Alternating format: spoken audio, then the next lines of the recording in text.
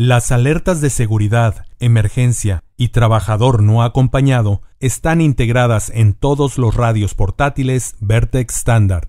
La alerta de emergencia se usa para notificar instantáneamente con solo presionar un botón. En este ejemplo, se presiona el botón anaranjado en el radio de José, que está programado para alertar a otros usuarios en el canal de mantenimiento que él tiene una emergencia el micrófono en el radio de Joe se activa y transmite durante 10 segundos y repite dos veces más.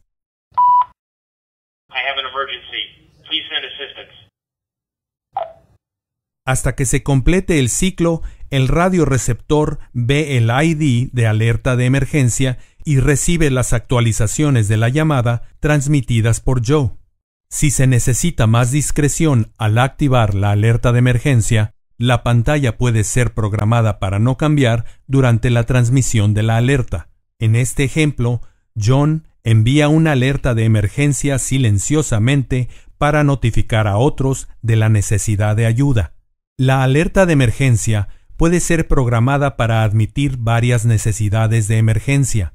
La alerta puede durar desde 10 segundos hasta 20 minutos con el micrófono conectado o no por toda la duración del intervalo de transmisión programado.